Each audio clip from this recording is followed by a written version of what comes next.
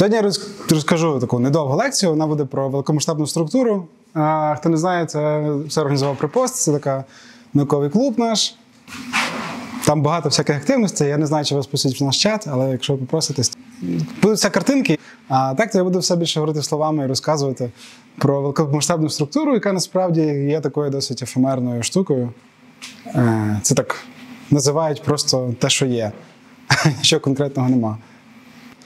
Ну, я взагалі ніби астрофізик і займаюся космологією. Космологія це якраз та наука, яка займається великомасштабною структурою. Що в неї вкладається термін? Це те, як організована матерія на масштабах більше, ніж галактики. От все, що починається від галактик, можна називати вже великомасштабною структурою. Ну, я думаю, знайомі всі з рівнем організації, які йдуть нижче галактик, що є там планети, планети обертаються навколо зір, зорі об'єднуються в галактики. Ну, при тим, що якісь скупчення, є в галактиках мільярди зір, є менші галактики, звісно. Е, галактики об'єднуються в е, скупчення галактик або кластери галактик. Типове скупчення може входити там, від 10 до 100 галактик. І ясно, що це вони пов'язані між собою гравітаційно об'єднані, навколо якогось спільного центру обертаються, або просто розташовуються дуже поруч, тільки обертаються. І відповідно це більше масштаби в просторі і по масах. А скупчення і є структури трошки ще більші, коли галактики видовжуються, вишиковуються в такі філаменти. А також вони можуть відтворювати 2D-структури, їх називають стінками. Е, і, власне, типу, все, що ми пробуємо кількісно описати поза галактиками, вищі ніж галактики, це і називається великомасштабною структурою. Ну, я про неї просто багато говоритиму. Попробую пояснити, звідки вона взялася чому вона така, як вона є. Е, Ну і взагалі про неї розкажу. Ну, ось тут на цьому на цій картинці видно, це, це звичайно, е, снапшот, так званий знимок симуляції якоїсь. І е, симуляції космологічні, вони називаються космологічні симуляції, які полягають в тому, що люди е, запускають віртуальний віртуальний бокс, багато-багато частинок. Ці частинки насправді дуже це, це не елементарні частинки, це такі суперважкі частинки, і відповідника їм у реальному світі немає. Насправді це вони важчі, ніж зорі, але легші, ніж галактики. Але ці частинки взаємодіють гравітаційно. І це імітація того, як ем, взаємодіє між собою матерія на цих великих масштабах. Ясно, що домінуючою силою є гравітація, але крім того, є розширення всесвіту. А в матерії звичайної, з якої ми складаємося, є ще тертя, тертя внаслідок внаслідок в'язкості. І цей газ тормозить одне одного і енергію гравітаційну і свою кинетичну перепромінює світло. Приклади таких надструктур Е, які от поза галактикою, вони перші почали з'являтися десь, напевно, в 70-х-60-х роках. Люди зрозуміли, що їх можна е, описати, пояснити якось єдиною якоюсь надструктурою поза галактики. В 80-ті та, це був великий великий атрактор, одна з таких перших структур. Е, я тут не поставив масштаби, але щоб ви розуміли, наша галактика це десь розмір приблизно кілька десятків парсек, ну окей, до сотні світлових років, якщо це спірна величина. Е, відстань до сусідньої галактики це приблизно 2 мільйони світлових років. Великий атрактор, якщо так можна сказати, має в, в характерний розмір в поперечнику має там десят, кільканадцять мільйонів світлових років. І наша галактика в нього не входить, вона десь тут от є. Але вона в нього летить, падає. Е, це визначили по по відносних швидкостях цих всіх галактик, які обертаються навколо цієї зони, яку можна яку називають великий атрактор.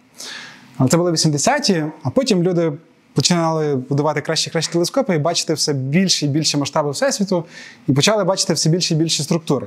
Зокрема, в 10-ті відкрилася така структура, ну, побачили як динамічно, як Ланіакея. Це такий супер-супер кластер.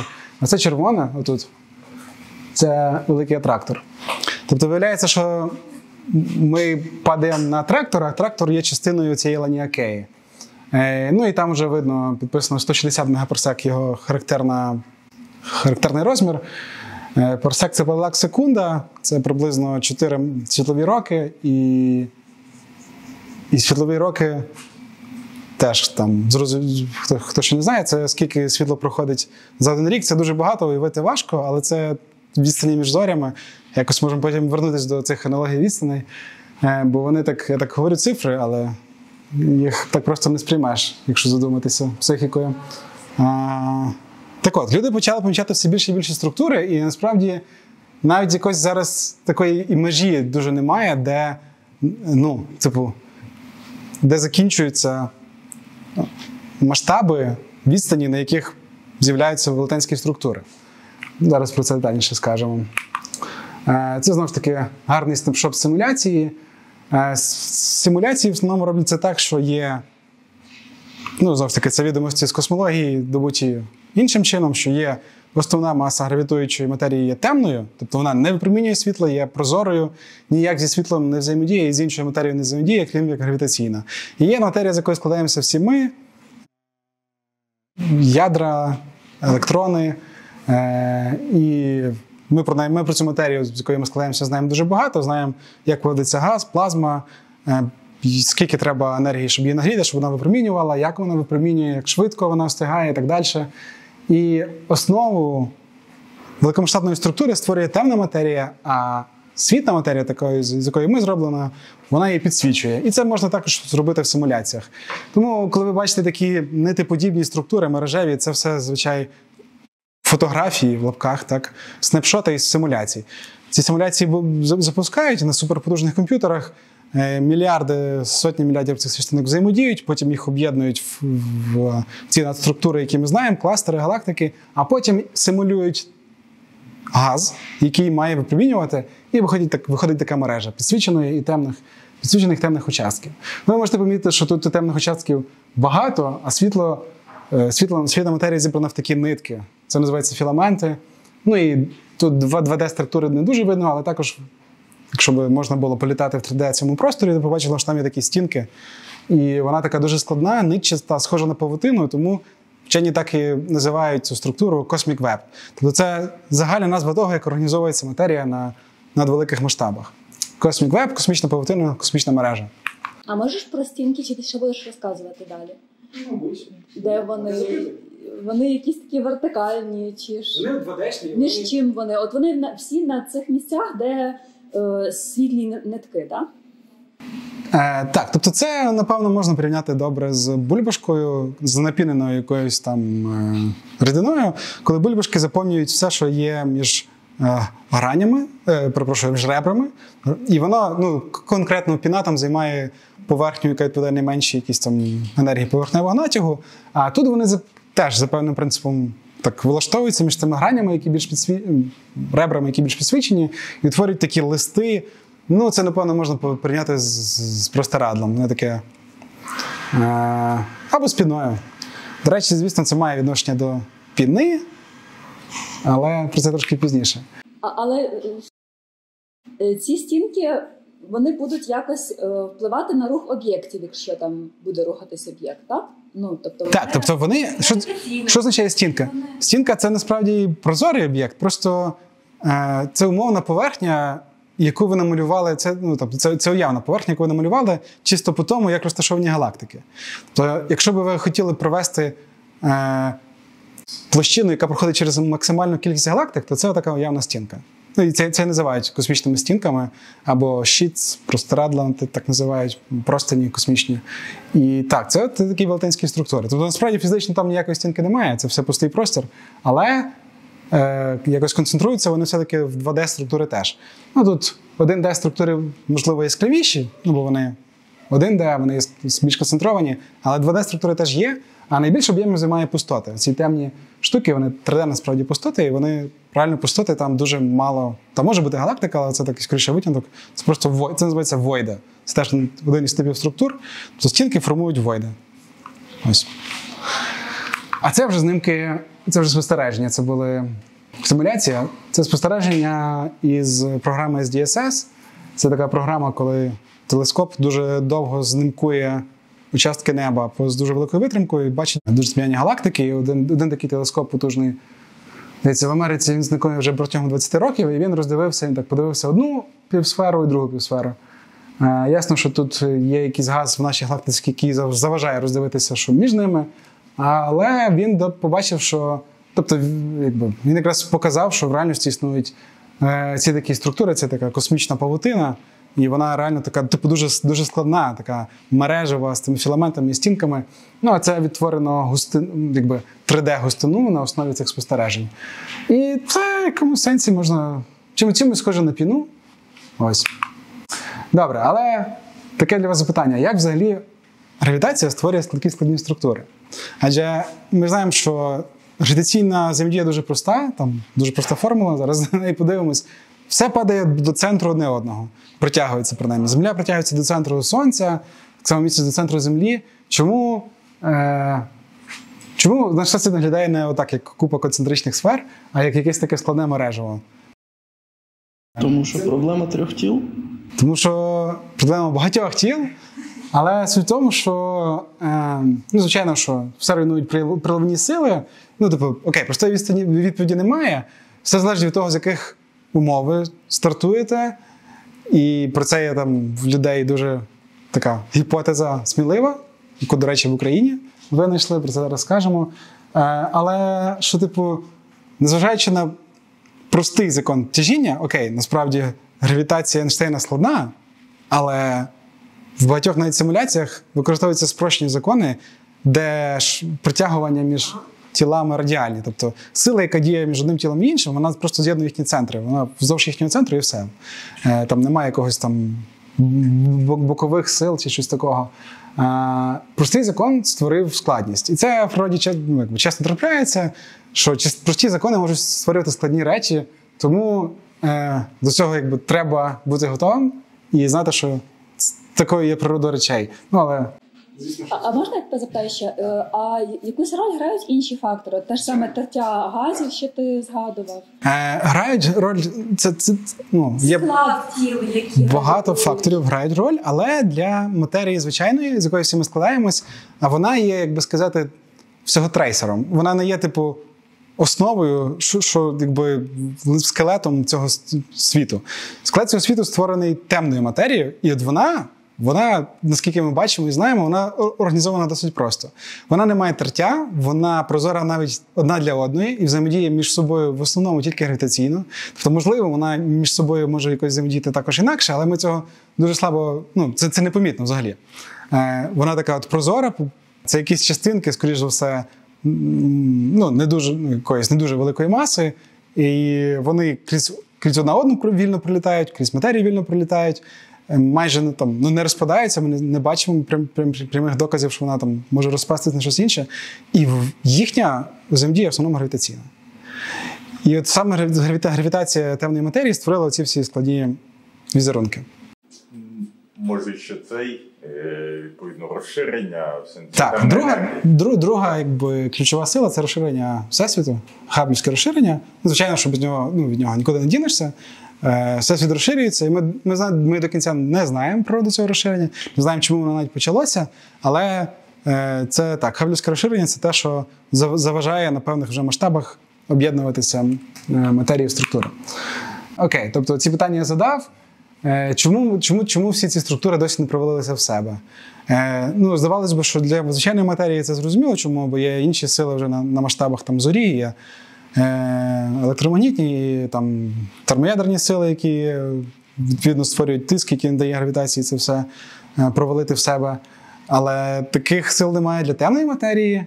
І тобто, відповідь можливо, що можливо, колись це все і станеться. Можливо, все колись і збереться в велику чорну діру, але до цього нас чекає ще дуже багато складності, подій, структур всяких, яке станеться in between під час під час цього цієї взаємодії. А ще цікаве питання, чому при тому, що не існує виділеного масштабу для гравітації, е, існують масштаби, різні масштаби організації матерії. Тобто, бачите, тут стоїть арквадрат в знаменнику е, в цій силі, і, але немає якогось виділеного R особливого. Можна було б очікувати, що ну, що матерія буде повторювати організацію свою на різних масштабах, просто як якийсь фрактал. Але цього не стається. Ну і ми теж поміркуємо над тим, чому так є. Е, окей. Тепер про те, звідки, звідки все почалося, звідки взялись ці перші нестабільності, неоднорідності, з яких потім утворилися всі галактики і все решта, і ми з вами. Є така теорія космічної інфляції, яка дещо е, вже тепер спекулятивною стала. Але суть її дуже проста, вона полягає в тому, що був етап в житті нашого всесвіту на самому початку, коли він дуже швидко розширився, і при цьому він був пустим, його нічого не заповнювало, крім певного якогось первинного скалярного поля, інфлантонного поля, як його називають. Звідки така ідея взагалі взялась? Кому це могло прийти в голову? А взялося це зі спостереження мікрохвильового фону, як одним, один із важливих аргументів. Е, Ну, тобто, те, що всесвіт в минулому був гарячий і густіший, це стало давно вже зрозуміло, як давно. Після відкриття цього явища хвильовий фон, фон це стало зрозуміло. Е, Цей, якщо коротко, явище полягає в тому, що ми бачимо випромінювання е, теплового характеру, правда, дуже холодне, яке відповідає температурі 3 Кельвіни зараз, 2,7. Е, і, е, але воно має спектрик як прожареної плазми, просто як як от сонця, спектр чорного тіла. І е, ми розуміємо, що воно походить із дуже дуже дуже дуже далекої відстані, тобто з дуже давні, давнього часу, з дуже далекої точки в минулому. І це якби підтверджує, ну його легко пояснити, і, мабуть, єдиним чином, наскільки я знаю, можна пояснити тим, що колись все, що все, що ми бачимо, все, що складається всесвіт, звичайної матерії, було гарячою плазмою, яка розширювалась під під дією закону Хабла Леметра, розширення всесвіту, остивала і в якийсь момент остила настільки, що породила це випромінювання як гаряча плазма, як от світить наше сонце. І тепер зі всіх боків воно до нас приходить. Тобто все навколо було гарячим. Що важливо, воно було однорідно гарячим. Наскільки однорідно? Е, тут бачите, зображено, що ми бачимо все далі від нас галактики, потім якісь ці велетенські структури, потім минуле, і потім ця гаряча плазма, яка світила. Е, в неї температура дуже мало відрізнялась ну, одна від одної ділянки вони приблизно з однаковою температурою світять. І не просто з однаковою, вони світять з однаковою температурою, з однаковими характеристиками з дуже різних сторін. І це дуже дивно з точки зору фізики, тому що а як вони до цієї однакової температури дійшли? Е, Типу, що що мало статись таке, що на них повпливало однаково всюди одночасно. Ну, одночасно. Тут якраз проблема одночасно, тому що ці ділянки не є сполучені між собою світлом. Тобто, всесвіт надто мало часу прожив, щоб ділянка ця знала щось про ділянку цю. Світло звідти не дійшло ще звідси, і воно не дійшло ще навіть тоді, коли ця ділянка була меншою, тільки випромінювала це світло. Це так звані причинно незв'язані ділянки. Їх от їх весь всесвіт, їх дуже багато.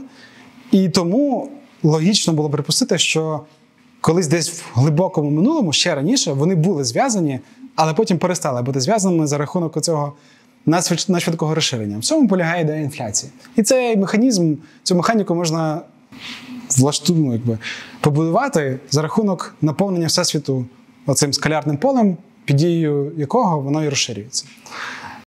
Окей. То, тим не менше, саме неоднорідності в цій плазмі породжували потім гравітаційні стабільності, які ставали галактиками. І ну, давайте я скажу, що от на момент е, випромінення цього, цього е, мікроглівого фону первинного, так, е, називається Cosmic Microwave Background англійською, CMB. Реліктовий фон також українською прокладають. Неоднорідності були порядку 10-5. Тобто максимально наскільки могли відрізнятися між собою температури, е, це 10-5 ну, у відносних одиницях. Окей, в них там була температура, тоді плазма була десятки десятки тисяч кельвінів тоді. Це температура, при якій власне відбувається рекомбінація атомів електронів, ядер електронів, е, протонів електронів водень. Десь при дуже високій температурі він стає повністю іонізований. Так от саме за цих неоднорідностей порядку 10-5 потім утворилось те, що стало там галактикою, е, скупченням галактики і так далі. І в галактиці вже при високій густині е, матерія падала на ну, теж концентрувалася навколо якоїсь недорівності, утворювалися зорі, утворились планети і так далі. Тобто 380 тисяч років від е, початку від, від великого вибуху, е, однорідності 10-5, і до 13 мільярдів років мало встигнути утворитися все. І в цьому полягає якби задача космології пояснити всю цю динаміку. І не просто пояснити, тобто має все встигнути утворитись, а також треба пояснити оцю структуру, яка утворилась зараз на цих великих масштабах. Ну, от це я вам коротко пояснив, чому, чому ввели інфляцію і, е, типу, звідки, звідки взялись взагалі великомасштабні структури? З оцих первинних е, збурень. Тепер, а що ми взагалі можемо знати про ці первинні збурення? І як виникла ідея про квант- квантове народження Всесвіту? Е, певним чином можна виміряти те, що називається спектр потужності цих збурень або флуктуацій. Що таке спектр потужності? Це те, як співвіднос- співвідносяться між собою амплітуди і масштаби оцих збурень. І звичайно, що ми їх зараз, ну, тобто ми їх зараз бачимо в далекому минулому, які вони були в цій первинній плазмі по неоднорідностях випромінювання. Вони в цю плазму, тобто ще з дальшого минулого, вони прийшли із моменту, коли їх народило це первинне поле. Е, А відповідно, це первинне поле, воно їх народило відповідно до того, яка була його концентрація в різних ділянках Всесвіту. А спектр первинного цього поля інфляційного, він дуже схожий, як виявляється, на спектр квантової флуктуації. Тобто, через отакий от ланцюжок перетворень ми все-таки можемо певним чином відтворити, який вигляд мало, мали спектр цього первинного поля. Е, Він зараз перетворився в спектр потужності збурень матерії, які ми спостерігаємо в нашому всесвіті. І по цьому люди почали догадуватись, що, мабуть, це була квантова флуктуація. Ну, про квантовий світ треба, мабуть, окремо говорити, окрему лекцію і розказувати, але ну, типу, з флуктуаціями квантовими ми маємо справу сьогодення, тобто в, квантовому світі, який ми вивчаємо, це не щось таке, ну, що ми раніше не бачили. Е, власне, один, одна із їх, їх характеристик таких флуктуацій це їхня гаусовість. Це розподіл ам- амплітуд по закону Гауса. І, типу, у всесвіті в минулому були саме, саме такий розподіл цих збурень. А як виглядає цей розподіл? Вони всі може пам'ятають. Ну я не пам'ятаю, як ви. чим окей, давайте так по-простому. Чим вища амплітуда, ну, типу, різниця між, між середнім, тим вона більш рідкісніша. І оце рідкісність спадає по закону є, є, є в степені мінус х квадрат. Е, типу, дуже багато процесів в світі є гаусовими, насправді. Це, ми це зустрічаємо часто, теж в природі. Але от де вона ще зустрічається, це в квантових флуктуаціях. Треба вам якийсь приклад навести квантових флуктуацій, там, не знаю, в, в, в, в, в, побутових, просто побутових. А, я не знаю, помагай, Андрій.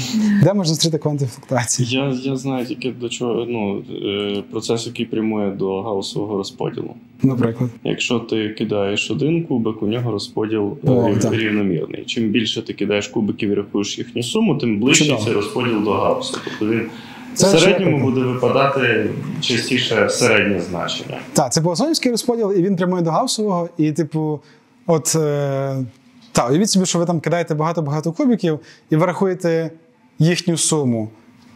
Найочікуваніша ваша сума вийде стільки, скільки буде, якщо додати всі можливості і поділити їх на їхню кількість. Тобто 1 плюс 2 плюс 3 плюс 4 плюс 5 плюс 6 поділити на 6. Це буде 3, там, 3,5. Так? А, Це нормальний розподіл, по суті, ні? так. А. Я, я, я забув про слово нормальний. О. Так, це нормальний розподіл. та, та, Ну, він гаусівський. Так, я вже Е, нормальний розподіл так, дуже часто зустрічається. І там, якщо ви там вишукуєте всі по висоті, О, в нашій кімнаті там всі хлопці в висоті вишукують, це не просто всі люди, і намалюєте криву, то це буде крива нормального розподілу, або його ж, або він же ж гаусівський. Е, І от бачите, всесвіт теж має його якби це щось нормальне. це все наш час нормальний. Насправді він майже нормальний. Там є нюанси, там є. Е, окей, це, це те, що стосується амплітуд флуктуації, а є ще закон, як вони залежать від розміру. Тобто, коли флуктуація утворюється, вона має якийсь певний характерний розмір. Що, типу, тобто починає де якось, ну це умовно, так, як картинка починає зростати, густина досягає свого піку і потім падає. І можна вказати на розмір і порівняти його із амплітудою. І от важливою фічею, важливим властивістю є те, що це так званий power law, та, е, як сказати українською, степеневий закон. Та, степеневий закон е, є в цій залежності розміру, е, ну, типу, амплітуди від, від розміру, від характерного і масштабу флуктуації. І це теж пояснюється, типу, квантовим народженням Всесвіту. Ну, як я вже казав, що гіпотезу про.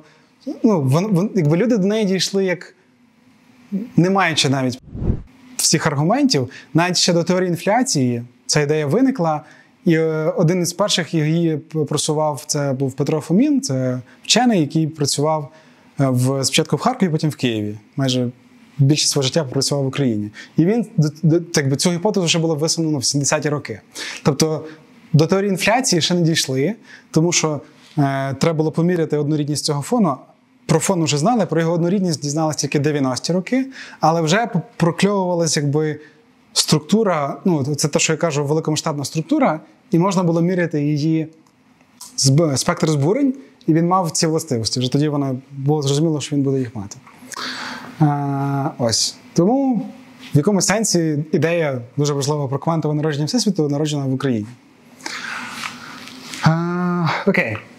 Тепер там купа слайдів з формулами. Ми до них вернемося, якщо що. Але якщо коротко, то я на них пояснюю, що таке перетворення фур'є, як розуміти спектр амплітуди, е, як відслідкувати спектр. Типу, із сьогоднішніх спостережень спектр цей первинний, початкового, як його відтворити. Це можна дивитись, робити, дивлячись на цей от первинний фон мікрохвильовий, як і на великопошарну структуру, рахуючи функцію ко- автокореляційну функцію галактик, тобто дивитись, на яких масштабах відстані від галактик від одної від одної, їх стає чуть більше в середньому, і т.д. і т.д. Це дуже довго і нудно. Це... Але суть в тому, що ну, типу, поняття цього первинного спектру воно дуже важливе. Воно там одне з ключових. е, космології я вам мусив його передати. Ось так. Е, Тепер поговоримо про те, що власне творилося з цим спектром. От є народилися якісь ці амплітуди. Я вам вже показав цей ланцюжок, що було первинне поле, воно розширювало наш всесвіт. В якийсь момент динаміка змінилась так, залежить знову ж таки потенціалу цього поля взаємодії самого собою і, е, і гравітації. Е, так що воно породило через, можливо, через взаємодію Хіггса.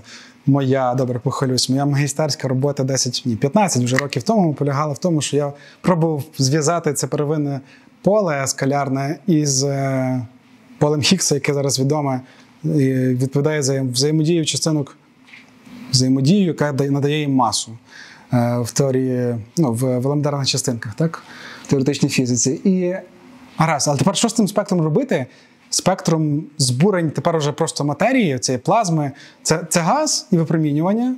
Тобто це воно в якійсь рівновазі перебувало, потім відділилося. Е, Газ охолонув настільки, що не міг уже поглинати випромінювання.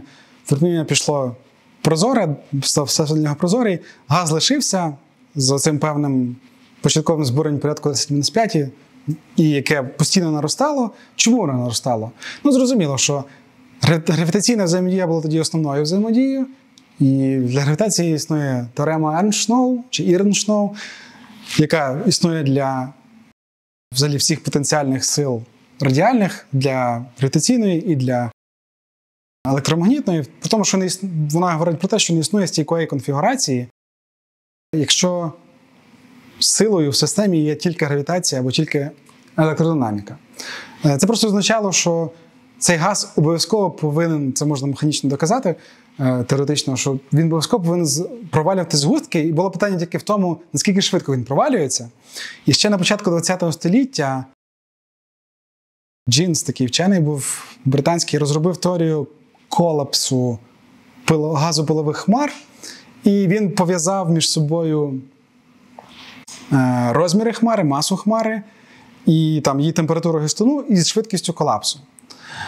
Типу, тепер, маючи приблизну оцінку густини, маючи оцінку розмірів цих амплітуд цих не- нестабільностей зі спостереженням мікрохвильового фону, можна було оцінити час, за який колапсують за який, за який це все має сколапсувати в якісь галактики. Насправді, колапс не стається прямо от до нескінченності в чорну діру. Він стається до того моменту, коли газ починає розігріватися і створювати достатній тиск, щоб опиратися гравітації. І це вже, тобто він спочатку збирається в галактики, і вже на менших масштабах е, він колапсує е, в зорі, які світять, і там включаються вже інші сили, які не дають гравітації все, зі всього зробити чорну діру. Е, і коли люди порахували ці всі, ну якби оцінку колапсу всього в галактики, вони зрозуміли, що повинно бути ще щось, що створює додаткову гравітацію.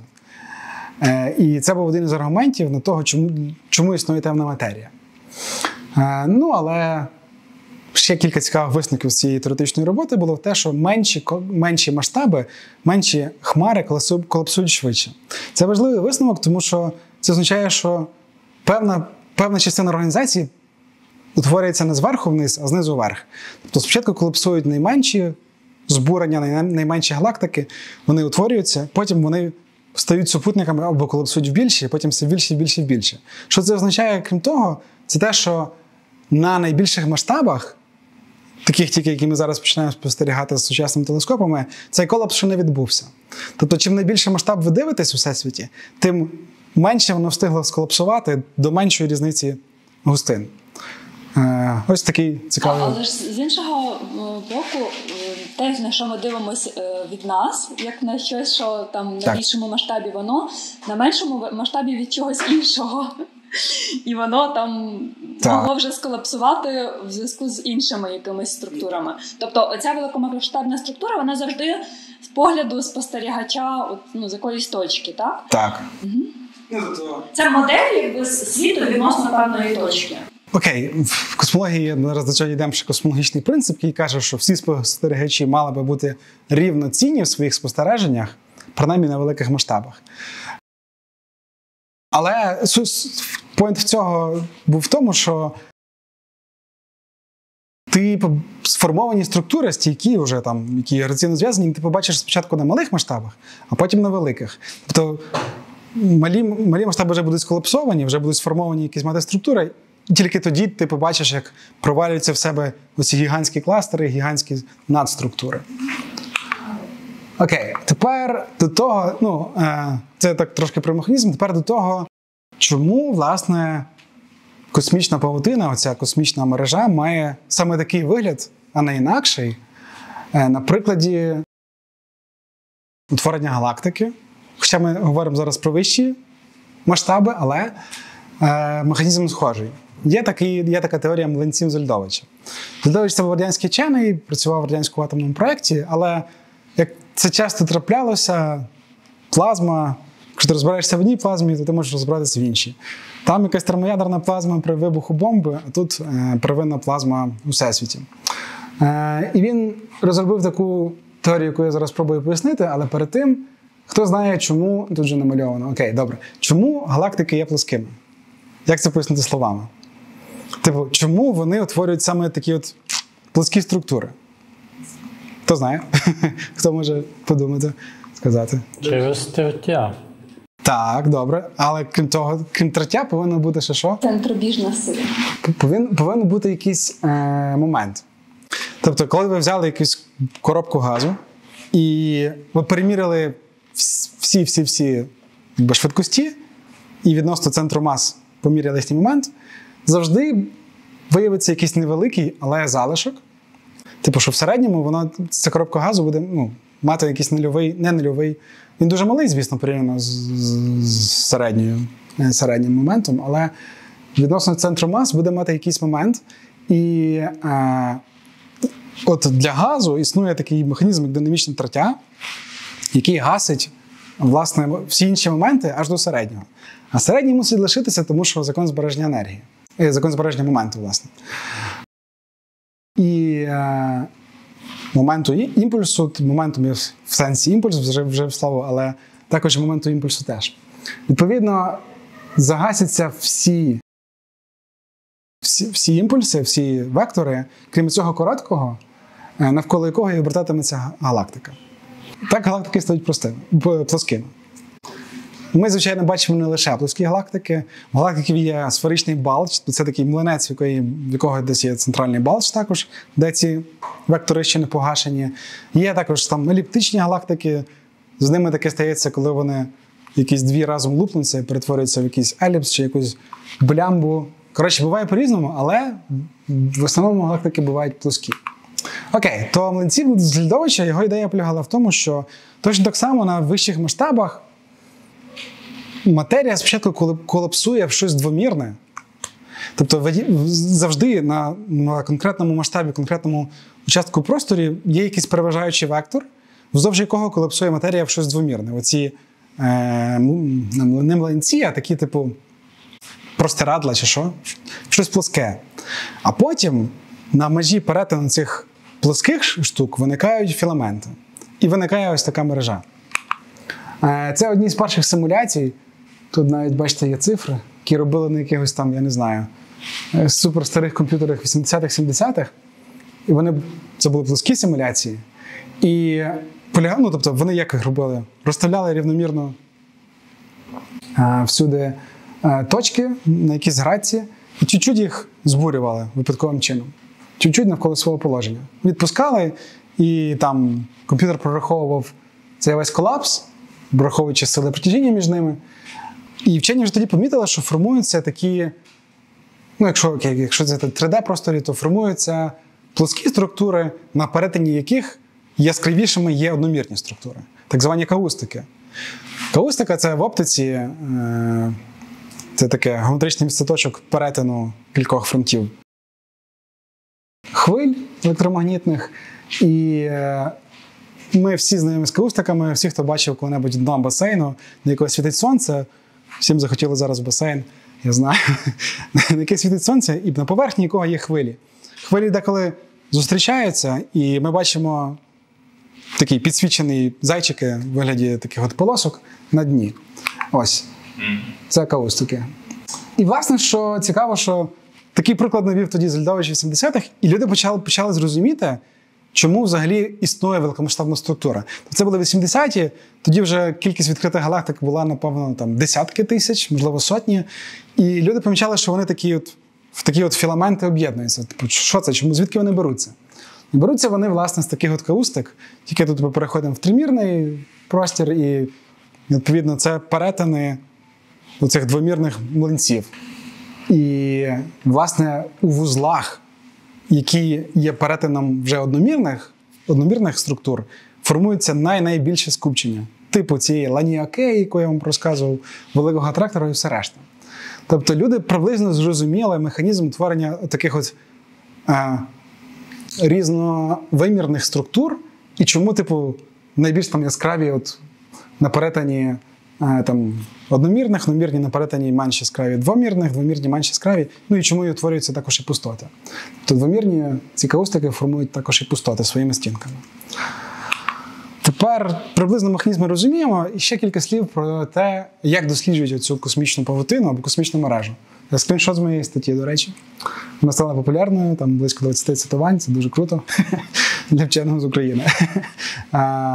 Бачите, ці точки Е, це це, це аналіз симуляції космологічної. Е, і ці точки це є гало темної матерії. Ну, В нашому правильному статті це галактики. В симуляціях ми маємо справу гало, тому що ми можемо бачити темну матерію в симуляції, тому що ми її створили. Це називається гало темної матерії. І розмір відповідає, напевно, масі. Е, ми можемо побудувати мережу таким чином, що кажемо, що нехай при деякій відстані мінімальні, називається Lincoln Lens. Якщо знаходиться відстань між двома вузлами є менше, ніж ця Lincoln Lens, ми їх з'єднуємо е, ребром. І будуємо відповідну мережу, ну тобто граф. Граф це з'єднані між собою точки. З графами люди просто вже давно працюють і вміють е, різні штуки для них рахувати, порівнювати, видавати якісь характеристики. І от розглядати космічну павутину як граф теж почали не так давно, десь років 20 тому. Це не те, щоб я придумав. Але е, можна, бачите, підбирати різну цю довжину з'єднання, і у вас будуть виходити різні мережі. І можна рахувати різні характеристики мережі, враховувати, які вузли найважливіші, враховувати їхні там центральності, ступені, різні характеристики на основі того, які є сусіди навколо них. І порівняно ці характеристики, наприклад, із характеристиками спостережними, там, не знаю, масою, спіном е, цього цього скупчення, або якимось е, потужністю зореутворення, або ще чогось, чимось таким більш фізичним. І робити якісь висновки про те, що космічна мережа вона має, що там, наприклад, найбільш центральні галактики є червоними. Вони мають більш червоний колір, вони є більш старими. А блакитні, в яких йде активне зореутворення, вони більше люблять самотність. Ну, от Вони більш такі далекі між, від, від, від інших галактик. Вони на периферії, не в центрі знаходяться. Е, і про це можна, типу, з цього можна робити висновок, як відбуваються фізичні процеси. Е, це ж саме зореутворення, ну і все решта. То гало е, темної матерії, що це таке? Гало, чому його так назвали? Є галактика. Ми знаємо, що тепер, крім звичайно світної матерії, існує темна. Темної значно більше, а ще вона значно розсіяніша. Ми не, ми, не, ми не знаємо, яку форму утворює ця хмара темної матерії навколо. Точно не ну так, ну, приблизно знаємо, точно не знаємо, але приблизно знаємо, що це якась сферична форма. Е, І це назвали Гало. Тобто є галактика, вона є центром для Гало, яке більше за неї в разів, там, не знаю, 5-10, і має більшу масу теж. Дякую. І ще про спін скупчень. Е, ну, спін це, це, це просто напрямок обертання. Це це момент. момент ну, кількість кількість імпульсу, ну, момент обертання, е, кутовий момент, умовно кажучи, для галактики його можна теж там порахувати, з якою швидкістю крутяться там зорі в ній, і відповідно якийсь напрям, вони там навколо одної одної осі крутяться. Додати це все, ці ці, ці моменти кожної зорі, там приблизно оці оцінити наскільки вона закручена. Ну, Тому що це грає роль при їхній взаємодії, при зіткненні, коли вони труться одна об одну і так далі. Окей, один із способів це теорія графів або теорія складних мереж. Інший спосіб це point cloud. Що Космічна мережа, космічна павутина це point cloud. Його можна, На нього можна дивитися реально як на хмару точок, на галотемної матерії, і рахувати її топологію. Я знаю, це дивно звучить, але для цього не так давно розробили методи, називаються топологічний аналіз даних, метод топологічного аналізу даних, коли на основі хмари точок будують многовид за, за, за допомогою концентричних сфер і вираховують якісь його характеристики. Ну, завжди це математика, ми на цьому зупинятися не будемо, але якщо захочете, зупинимось. Окей, дивіться, це послідовні снапшоти одної з космологічних симуляцій. Це дуже ранній час, це сьогодення. Я думаю, погодьтесь зі мною, що складність цієї картинки росте від минулого до майбутнього. Але чому? Ми всі знаємо про те, що ентропія невблаганна, вона постійно збільшується, і все якби, тяжіє до однорідності. Температура, на жаль, тяжіє вирівнятися ззовні і всередині. Тут холодно, там тут прохолодно, там гаряче, і мало би все прямувати до рівноваги. І це універсальний закон. Ми не знаємо ні відхилення цього закону на ніяких масштабах, ну, ніде не знаємо в фізиці, ні в хімії. А, Тим не менше, все все світ еволюціонує так. А чому? Ми погоджуємося з тим, що я думаю, ми всі погоджуємося, що складність росте, але насправді з ентропією все гаразд, вона тут теж росте. це такий дивний випадок. Е, ентропія росте, якщо врахувати, там, наприклад, чорні діри в центрі галактик, вони всосують в себе величезну кількість матерії і стають такими, такою домовиною. Виявляється, що вони мають дуже високу ентропію. Дуже цікавий випадок, що ми зазвичай пов'язуємо високу ентропію із е, низьку ентропію, перепрошую, з високою організацією, зі складністю. А а тут зростає ентропія і зростає складність. Е, ну, така на перший погляд загадка, яка насправді відповіді немає. Тобто, це якось пояснити. Ну, пояснюється скоріше це тим, що в слово складність, складність ми вкладаємо щось таке суб'єктивне. Це дуже людська міра чогось, так, складність. І е, люди зараз пишуть наукові роботи, пробують писати, про, пробують вирахувати, якось надати їй значення числова цієї складності е, і дати характеристику еволюції через, через складність. А ще цікаво, що в космології існує поняття end of greatness. Те, про що ми вже згадали, на певних масштабах він стає дуже однорідним, цей всесвіт. Е, на певних масштабах всі ці структури виглядають просто однорідною кашею. І оці певні масштаби це така е, умовна річ теж, тому що чим далі ми бачимо, чим точніше наші телескопи, тим чим далі ми бачимо в минуле, ну окей, не в минуле, а в, в простір, е, тим ми бачимо, що ця end of greatness, ця межа, коли воно стає кашею, все відсувається на більші масштаби. Ну, зараз це десь кажуть приблизно 200, е, так, 200 мегапарсек, хоча може вже і більше. Нагадаю, що до найближчої галактики від нас приблизно 2 мегапарсеки. Це все, ні, 2 світлових роки, а мегапарсеки там пів, пів мегапарсека. І ви також можете помітити, що всесвіт. А? Прошу? Півпарсек. Пів парсека. Пів мегаперсека. Мега світлових років. Я, я пропустив мега. До найближчої галактики 2 мільйони світлових років і або пів мегаперсека. Ви можете помітити також, що а, оця каша, вона була присутня, те, що ми сприймаємо як каша, насправді тут вже є ці всі початкові неоднорідності, з яких ви- виростуть потім галактики, з яких потім це все виросте. Тобто тут немає якоїсь втрати інформації чи, чи народження інформації, якщо можна подумати, так? А, цю, в цей куб на самому початку заклали оці неоднорідності, і їх треба було, звичайно, ви там просто сказали якомусь рандомайзеру, е, там, випадково посунь координати точок якогось початково, так? І в той момент, коли він це зробив, він ніби народив інформацію. Але чи, чи це було народження інформації? Так? Коли для вас це просто якийсь рандом, а потім це стало конкретними філаментами, конкретними е, надскученнями, конкретними речами, які, от, які вже точно є інформацією для нас. І ще можна помітити, що ця така каша однорідна в минулому нагадує однорідну кашу на великих масштабах. Тобто, ніби всесвіт е, в минулому це просто всесвіт на більших масштабах сьогодні. Ну і от вам ніби таке повернення до цієї фрактальності. Але насправді всесвіт не фрактальний, тому що існують інші сили. Окей. Е, Крім гравітації, яка є безрозмірною. Фінальний кадр. Це я намалював сьогодні зранку. Е, пробую пояснити. Це, це я, я раніше, так що Андрій бачив, я раніше, в принципі, не зустрічав е, такого графіку, але спробуємо приписати складність об'єктам на різних масштабах, які ми вивчаємо, від електрона до всесвіту. Під складністю я буду розуміти кількість чисел, які описують теж електрон або атом, або клітину, або галактику, або всесвіт. Виявляється, що це от така, такий от горбик. Це нормально.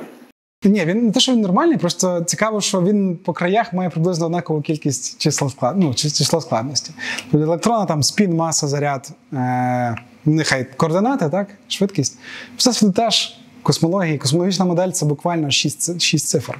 От, це 6 цифр, з яких просто компоненти Всесвіту і їхнє співвідношення масове ну, по густині. Але коли ми рухаємося до середини, то атоми і молекули вже складніші, ніж електрони. Так само, як галактики, ну, скупчення галактик складніші, ніж сам Всесвіт. Ще складнішими є зорі, з іншого боку, з другого боку клітини. Ну і я так вже підлаштував, щоб найскладнішими виявились ми. Я не знаю, це приблизно. Але якщо б вам сказали описати людину, то інакше, ніж намалювати весь конектом, там скільки 10-15 є нейронів, ну багато дуже, так? І конектом весь це намалює, інакше не опишеш. Е, А от це світ можна описати шістьма числами. Звичайно, йдеться про космологічну модель, яка описує динаміку всього разу. Е, Ну і це, це частково тому, що складність суб'єктивна. А ще знаєте, що ця крива нагадує? Якщо ви побудуєте криву складності Всесвіту з часом, ви теж помітите, що вона має десь такий, таку, таку форму. Тут у нас масштаб по осі іксів, але якщо викласти час, спочатку якась однорідна каша, потім галактики, потім все складніше, складніше, потім доходимо до життя, але потім все провалюється в чорну діру. Можливо. Або стає теплован, тепловою ванною однорідною. І складність знову зменшується. Ось такі мої спостереження. Це космологія, а це теорія частина, коли це стандартна модель. І там, і там приблизно однакова кількість чисел, які характеризують цю теорію. Тут 25 чисел, включно з швидкістю світла, до речі.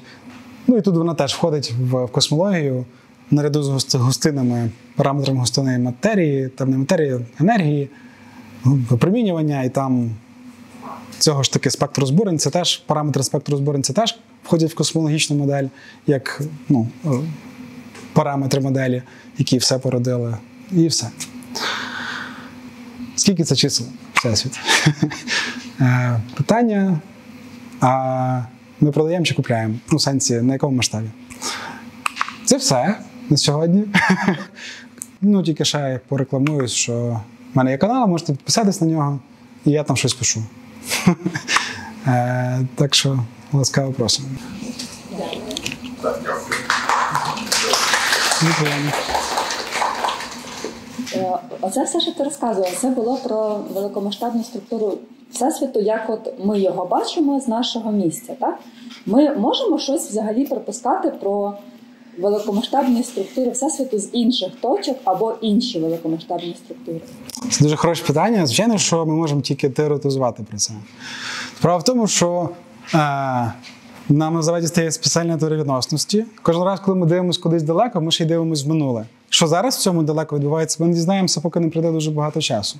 Тобто, можливо, якщо ми будемо сидіти тут мільярди років, я думаю, без шансів, е, і дивитись на всесвіт, то ми будемо його пізнавати так, ще й в цьому вимірі, що в нас буде більше як це, більша площа гіперповерхні, е, гіперповерхні конформного космологічного часу. Ну, це, це я щось таке сказав, але якщо. Це зона більша для спостережень, ніби. Так, ну типу, ти, ти будеш бачити більше всесвіту на однаковому масштабі, на якому на якомусь більшому масштабі. А зараз, коли ти дивишся дуже далеко, ти бачиш ти, ну, ти бачиш цю великомасштабну структуру, яка відповідно ну, відповідає якомусь минулому. Але насправді це минуле не дуже велике. Я от щойно згадав, що е, end of greatness, тобто однорідна каша настає приблизно там на 200 мегапарсеках, ну нехай навіть це мільярд світлових років, а вік Всесвіту це 15 мільярдів.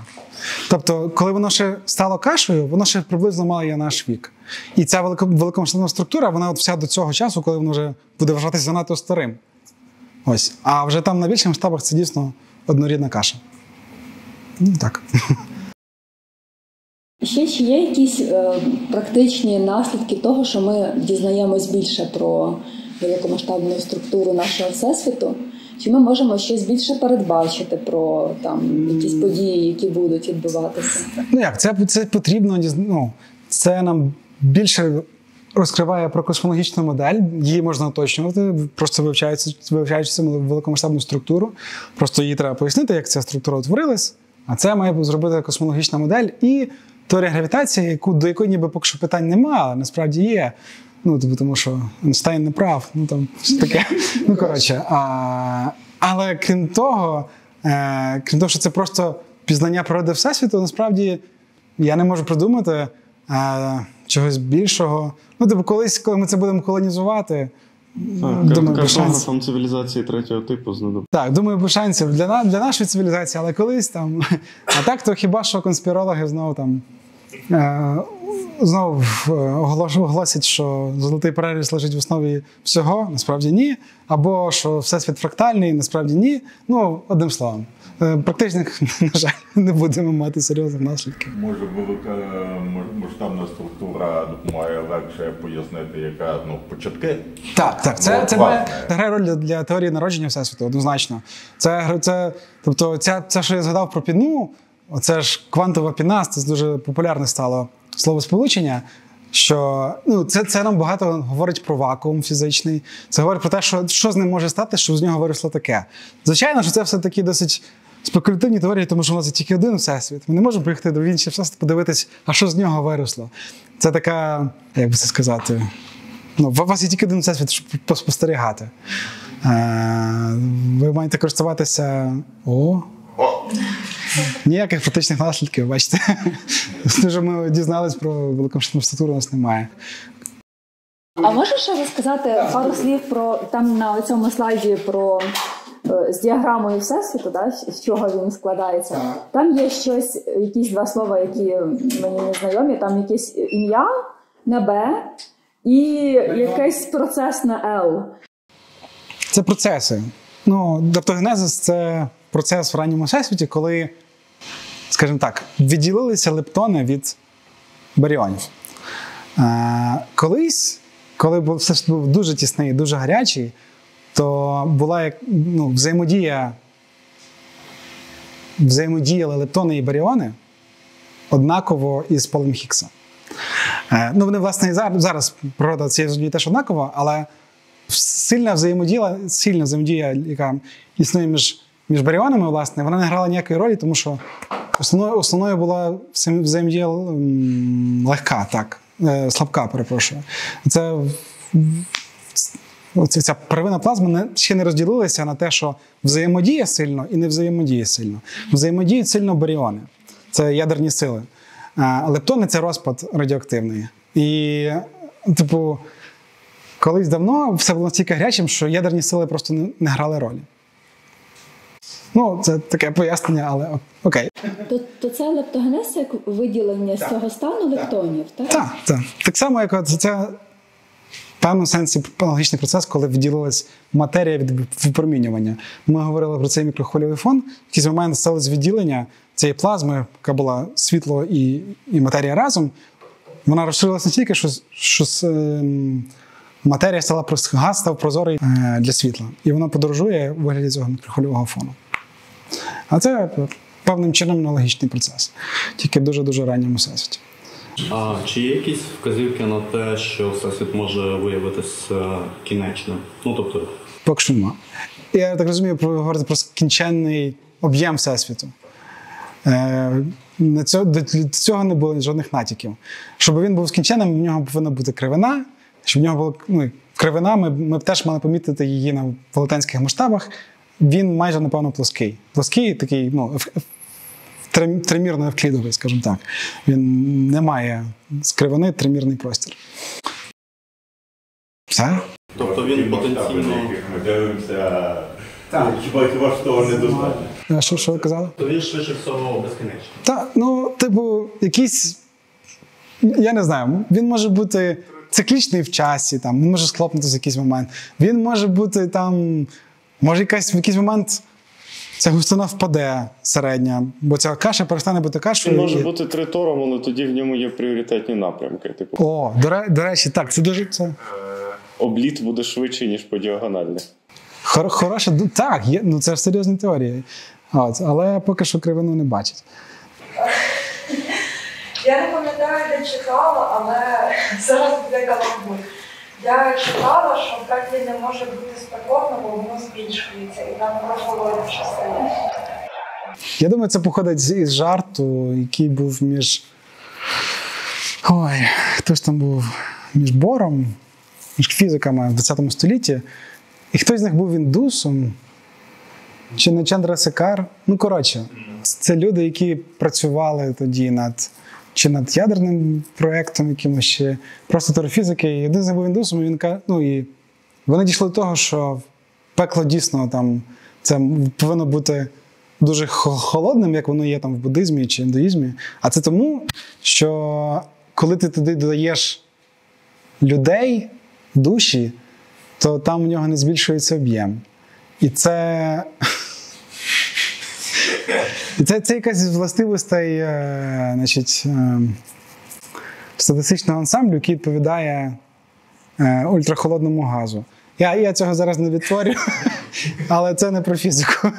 Це був жарт, звісно. Максе, а як виглядав би на великий, на великому масштабі всесвіт, якби темна матерія могла взаємодіяти між собою, якби вона могла тертися чи зіштовхуватися?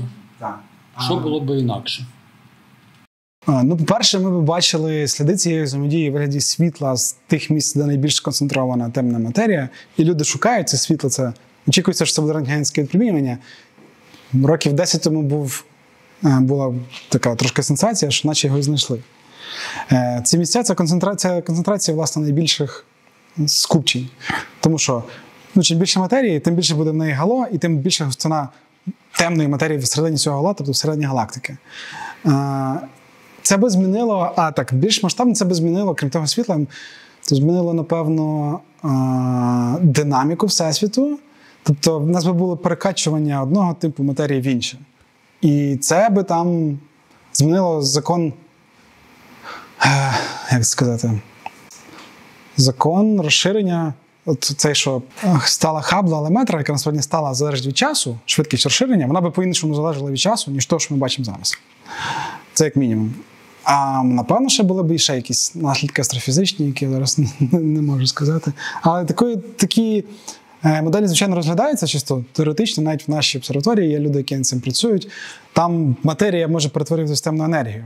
І енергія в матерію. Вони там можуть так між собою обмінюватися е, енергією. І, типу, так, такі теорії є. Їх розглядають.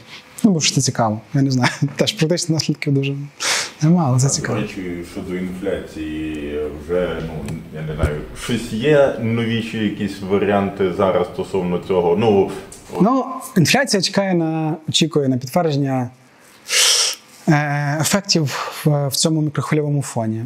Яких ефектів? Е, інфляція має породити, мала би породити гравітаційні певний гравітаційний фон. Він аналогічний до нейтринного фону і до мікрохвильового фону. Цей гравітаційний фон має лишити відбиток на на цьому, на цьому промінні у вигляді поляризації. Але ця поляризація має бути на дуже малих масштабах, в сенсі, що ти маєш мати дуже хорошу роздільну здатність е, цього промінювання, е, спостереження цього промінювання, і тоді на цих масштабах існує відбиток первинних гравітаційних хвиль, які були породжені інфляцією. І такий от ланцюжок. Е, І зараз будується кілька апаратів, які, в принципі, мали би розглянути, мали би мати хорошу роздільну настільки, не тільки роздільну, а поляриз- поляризацію мали би міряти цього промінювання. Було роздільну здатність настільки, щоб побачити цей відбиток. Це станеться десь, їх запустять десь 26-27 рік найшвидше. Тобто, це вже за наше життя ми щось побачимо. Так. А чи є якісь вже зареєстровані великі чорні діри, які можна було б назвати якимись геймченджерами, які прям ну, аномально щось вже е, зробили або якось вплинули на якісь структури? Типу, саме поява надмасивних чорних дір в центрах наших галактик, ну, багатьох галактик, які ми спостерігаємо, спостерігаємо наші теж, це в певній мірі загадка, тому що вчені до кінця не можуть пояснити, як вони так швидко утворилися. Е, Тому що ми бачимо чорні діри в центрі галактик з допомогою, до речі, телескопа Веба. Ми їх бачимо навіть в ранніх галактиках. І, типу, немає поки що чіткої теорії, як вони так швидко утворилися. Е, Це до кінця не зрозуміло. Е, Щоб, щоб вони повпливали на глобальну, вони впливають на глобальну структуру таким чином, що якщо ця чорна діра утворила квазар, тобто якщо вона випльовує газ за рахунок, нагріває за рахунок акреції і випльовує цим якимось релятивістським джетом, то газу стає менше в галактиці, і це впливає на неї настільки, що вона утворює менше зір. І галактика стає тьмянішою, і відповідно, ну так, це впливає на те, що от була яскрава, стала менш яскрава галактика, там цікаві механізми, і ну, то вони, вони, вони вже впливають це на великомасштабну структуру. Так. До речі, заходьте сюди. Там є, е, я написав статтю для журналу Куншт, і от останній допис він якраз про це, і там є про е, самі чорні діри. А, тут є людина, яка, яка її редагувала. Так, дякую. Ласка.